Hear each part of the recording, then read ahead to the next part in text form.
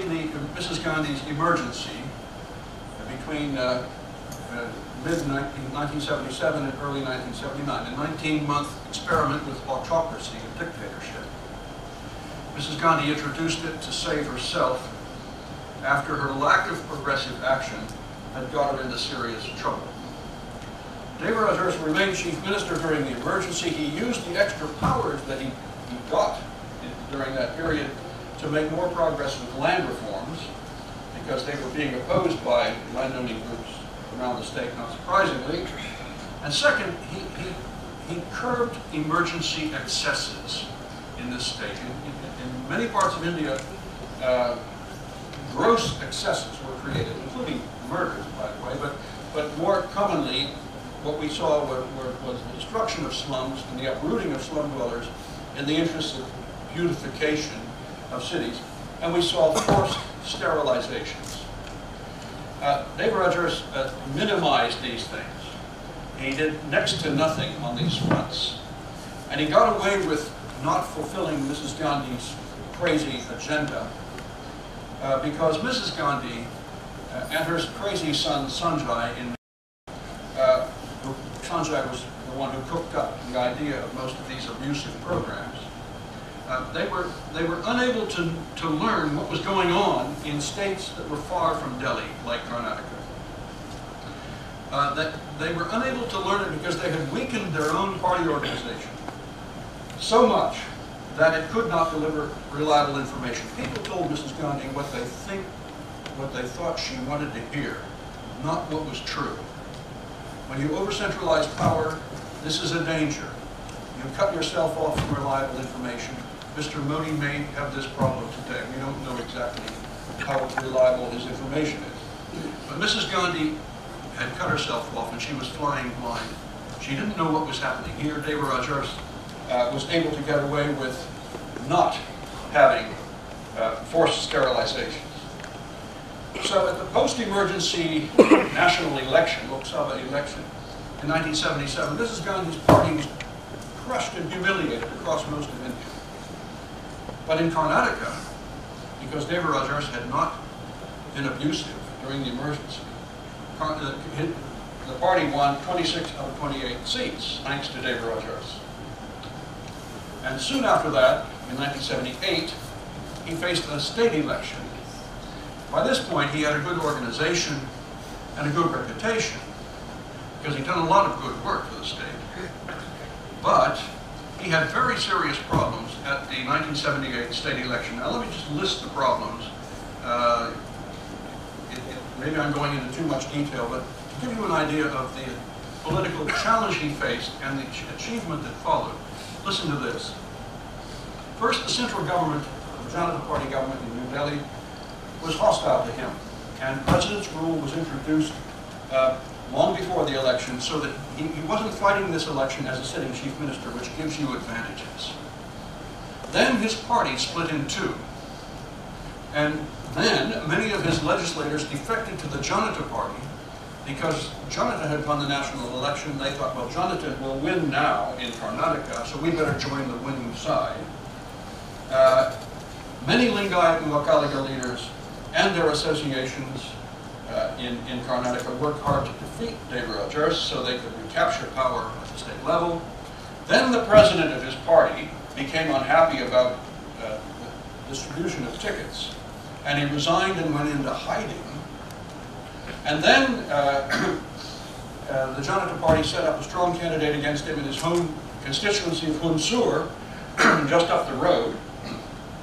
So he had to he had to spend a lot of time in his own constituency to save his seat and couldn't campaign as much as he wanted to around the state. Then he, he even lost control of his headquarters building in, in Bangalore as a result of a lawsuit. And finally, and this was in a way the worst, he was denied the familiar Congress Party election symbol because the Congress had split in Karnataka as well as uh, in New Delhi. And so neither of the, of the new versions of Congress could have the old symbol, which everybody knew. So he was given a completely new symbol, completely unfamiliar to the people of Karnataka. It was the hand. Now today, everybody knows that's the symbol of Congress. But that was the first time, uh, in 1978, in Karnataka, was the first time the hand was used as the symbol. Nobody had heard about it before. Now, Devaraj Urs had to hope that the people of Karnataka had, were sophisticated enough to support him despite all of these problems. Um, he had to hope that they would remember the good things he had done for the state, the development projects, the, the, the help for disadvantaged groups, and he had to hope, above all, that the voters of Karnataka were wide awake enough to learn about this new election symbol only a few weeks before the election and put their marks beside that symbol. He only expected to win 60 out of the 224 seats in the election. But the voters did know, they were sophisticated enough to learn about the symbol, to remember his good work, and they gave him a huge victory, uh, 149 seats out of 224, not 60, 149. Two-thirds of the vote went to this, his party on a new election symbol. This is amazing. By the way, it also reminds us that the voters in this state and in this country are very, very sophisticated much more sophisticated, for example, than the voters in Eastern and Southern Europe today. Um, so what are we to make of all this? Uh, Devaraj changed the rules of politics in Karnataka. After he was chief minister, no longer could the landowning minority dominate state politics. To get elected, and to remain popular after you got elected, uh, you had to deliver something of substance to poorer groups, and you had to bring disadvantaged groups uh, into, uh, into government, into important positions in the state. State governments here, to, to get elected and to stay in power once they got elected, had to be rainbow coalitions of different social groups, including Lingayats and Vokkaligas, but also lots of disadvantaged groups. Um, and this, this change in the rules of politics here has never been reversed. This change in the rule of politics, rules of politics which he introduced happened later in most other Indian states. But he was a pioneer by using progressive politics to bring this change about. Um, in, in 1978, Mrs. Gandhi, who'd been lost in the election to Parliament, needed to get re-elected into Parliament uh, from someplace, and she turned to Devaraj Urs as her most reliable uh, leader uh, for a constituency. He found her uh, Chikmagalur, which she fought in a by-election, a very, very aggressive by-election, uh, and narrowly won, thanks mainly to the organizational activities of Deva Rajoyce. This did not persuade Mrs. Gandhi to be great, to show gratitude to, to him. Um, it, what it did was to earn him great respect across India as a man who could get things done politically and maybe a future national leader.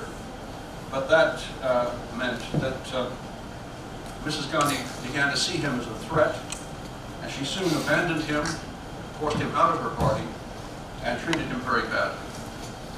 Now, what are we to make of all this? Um, before India's, before uh, Devaraj Urs, some of India's states, including Karnataka, had seen other chief ministers who were shrewd and politically skilled and effective, and who might, we might call progressive. But Devaraj Urs was, was more impressive than these others. He showed that government could be a powerfully constructive force.